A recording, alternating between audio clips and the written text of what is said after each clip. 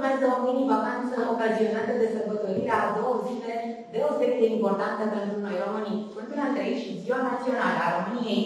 În acest context, instituția Prefectului Județul Călăraș și toate structurile teritoriale ale Ministerului Afacerilor Interne, alături de reprezentanții Centrului de Prevenire, Evaluare și Consiliere Antidrog Călăraș, au ca prioritate asigurarea unui climat de siguranță pentru preîntâmpinarea producerii unor evenimente nedorite. Și în această perioadă, ca și în celelalte zile, de altfel, structurile Ministerului Afacerilor Interne vor fi în slujba călărășenilor pentru a asigura ordinea și liniștea publică. Polițiștii călărășeni vor fi la datorie în vacanța prejudită de sărbătoarea Sfântului Andrei și a Zilei Naționale a României, iar în perioada 30 noiembrie 3 decembrie, zilnic, peste 100 de polițiști din cadrul Inspectoratului de Poliție Județean Călăraș vor fi în teren, la datorie, pe raza întregului județ, unde vor acționa pentru menținerea unui climat de ordine și siguranță publică, precum și pentru descurajarea și combaterea activităților care pot pune în pericol viața cetățenilor. Acțiunile vor fi organizate în sistem integrat, împreună cu celelalte structuri cu atribuții în domeniul ordinii și siguranței publice. Polițiștii vor fi pregătiți să intervină ori de câte ori vor fi solicitați de către cetățeni sau în cazul în care vor constata încălcări ale normelor ilegale în vigoare. Efectivele din teren vor acționa și pentru a asigura uh, că cetățenii care participă la manifestările prelejite de Ziua Națională a României vor fi în siguranță. Totodată, în contextul în care se anticipează un trafic intens, polițiștii de la rutieră vor acționa pentru asigurarea traficului rutier și pentru reducerea victimizării cetățenilor prin implicarea în accidente de circulație. Polițiștii rutieri vor fi sprijiniți de efective de la ordine publică, iar în cadrul activităților desfășurate vor folosi autospecialele dotate cu echipamente de supraveghere video a traficului rutier și de măsurare a vitezei de deplasare a autovehiculelor. Recomandăm tuturor cetățenilor să respecte indicațiile polițiștilor din trafic, normele legale în vigoare și să manifeste un comportament responsabil pentru a nu fi implicați în evenimente negative. Totodată, în situația în care sunteți martor sau victima a unei infracțiuni, solicitați sprijinul celui mai apropiat echipaj de poliție sau apelați numărul de urgență 112. Vă mulțumesc! În perioada 30 noiembrie 3 decembrie 2023, Inspectoratul de Jandarm Județean Călăraș va intensifica măsurile de ordine și siguranță publică și va suplimenta dispozitivele de jandarmerie care vor acționa în zonele unde există posibilitatea să se constituie aglomerări de persoane. Jandarmii călărășeni vor asigura măsuri de ordine publică la toate evenimentele ce vor avea loc în spațiul public, cu ocazia manifestărilor religioase, comemorative și cultural-artistice, prilejuite de sărbătoarea Sfântului Apostol Andrei și a Zilei Naționale a României. Vom avea în atenție cu precădere zonele și traseele unde, de obicei, în astfel de perioade ale anului, ne așteptăm la un flux mai mare de oameni. Mâine, 30 noiembrie, cu ocazia sărbătorii Sfântului Apostol Andrei, vom fi prezenți în zonele principale ale lăcașurilor de cult pentru a ne asigura că activitățile religioase se vor desfășura într-un mediu de ordine și siguranță publică. Vineri, 1 decembrie, cu ocazia Zilei Naționale a României, Inspectoratul de Jandarm Județean Călăraș va participa la ceremonialul religios și militar desfășurat la Monumentul Eroilor din al doilea război mondial, în zona Bălan. La festivitățile militare organizate, jandarmii vor asigura gardarea monumentului eroilor călărășeni și vor defila alături de celelalte forțe armate, cu efective și autovehicule de intervenție folosite în misiunile de ordine publică, iar ulterior vor supraveghea ca defilarea drapelului național să se desfășoare în condiții de maximă siguranță. De asemenea, jandarmii vor fi prezenți și în municipiul Oltenița pentru desfășurarea ceremonialului militar și religios la Monumentul Eroilor din 1916-1918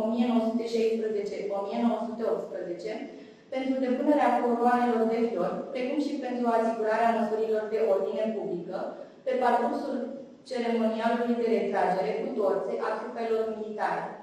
Recomandăm participanților la manifestări să acordă o atenție sporită bunurilor personale, să respecte indicațiile forțelor de ordine și să solicite ajutorul jandarmilor aflați în dispozitiv în situația în care este necesară intervenția acestora. Vă dorim vacanță plăcută, la mulți ani tuturor sărbătoriților, la mulți ani România! Pompierii militari călășeni vor fi la datorie pentru a veghea la siguranța comunității în perioada prelejuită de Ziua Națională a României. Premergător și pe timpul mini-vacanței din perioada 30 noiembrie-2 decembrie, efectivele Inspectoratului pentru Situații de Urgență Parabuștirii al județului Călăraș desfășoară activități menite să asigure protecția și siguranța cetățenilor, cât și evitarea producerii unor evenimente ce ar putea afecta viața și bunurile comunității. La nivelul județului Călăraș zilnic, peste 100 de pompieri militari cu 30 de mijloace tehnice de intervenție sunt pregătiți să acționeze pentru acordarea primului ajutor medical de urgență, pentru stingerea incendiilor și pentru salvarea persoanelor care ar putea fi surprinse în mediul stile vieții. Urgențele medicale vor fi asigurate zilnic, în sistem integrat, prin intermediul echipajelor SMURT și a echipajelor Serviciului Județean de Ambulanță, care vor asigura primul ajutor medical calificat. Echipajele de intervenție vor asigura misiunile specifice alături de reprezentanții celorlalte structuri ale Ministerului Afacerilor Interne, precum și cu cei din cadrul autorităților și instituțiilor implicate în managementul tipurilor de risc, inclusiv în zonele care vor fi organizate evenimente publice de amploare. În afara măsurilor dispuse la nivel operativ, o atenție sporită este acordată prevenirii evenimentelor care pot fi generate de nerespectarea măsurilor de prevenire a incendiilor.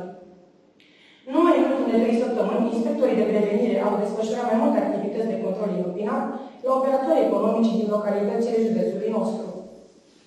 Misiunile au vizat obiective cu aglomerări de persoane, iar scopul principal urmărit a fost verificarea respectării numărului maxim de utilizatori și accesibilitatea căilor de evacuare. De asemenea, pe întreaga perioadă a sezonului rece, pentru creșterea gradului de siguranță a cetățenilor, acțiunile de control și verificare vor continua la unități de turism și de agrement, spații comerciale, locașuri de curs și ansambluri mănăstirești, târguri tematice specifice sezonului rece și alte amenajări similare în cazul în care acestea se organizează, ori după caz, în zonele unde se vor desfășura evenimente legate de date și obiceiuri specifice sezonului rece. Recomandări. Reamintim cetățenilor că în perioada sezonului rece, odată cu scăderea temperaturilor, cele mai multe incendii la locuințe au drept cauză coșurile de fum necurățate, incendiile, instalațiile electrice improvizate sau cu defecțiuni, precum și mijloacele de încălzire lăsate nesupravegheate. Pentru a preveni producerea unui incendii, verificați mijloacele de încălzire, precum stobele, caloriferele sau alte surse de căldură. În situația în care părăsiți locuința, decuplați aparatele electrice, iar dacă vă cazați în structuri de primire turistice, urmăriți cu atenție traseele căilor de evacuare din incidența acestora.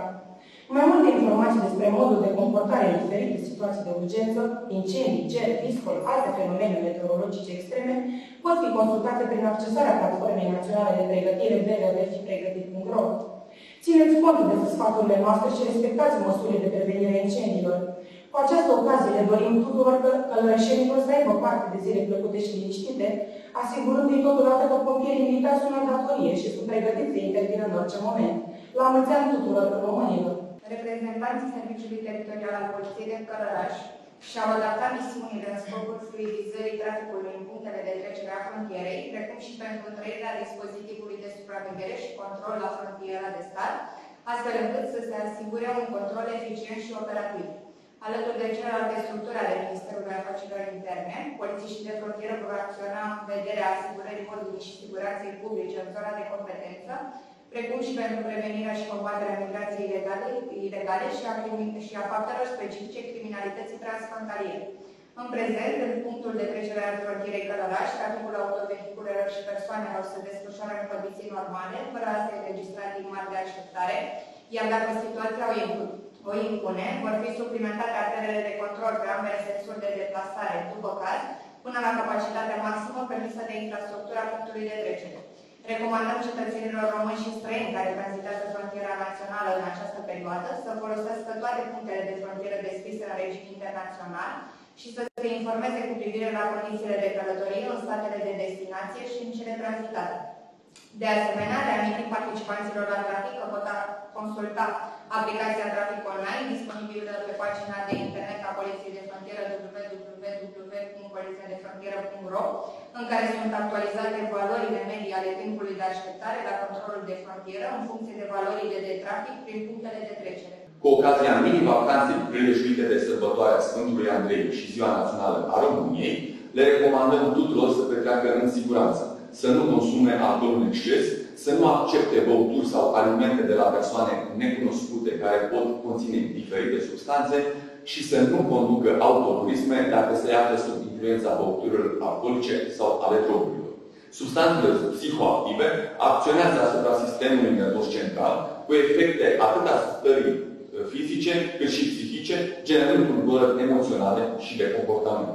De asemenea, reamintim că specialiștii Agenției Naționale Antidrog oferă gratuit și confidențial asistență integrată medico-psihosocială, iar persoanele care au nevoie de sprijin sunt îndrumate să apeleze telefon verde 08 008 70070 să se adreseze Centrul de Prevenire, Evaluare și Consiliere Antidrog Călăraș sau să apeleze la numărul unic de urgență 112 dacă situația medicală o impune.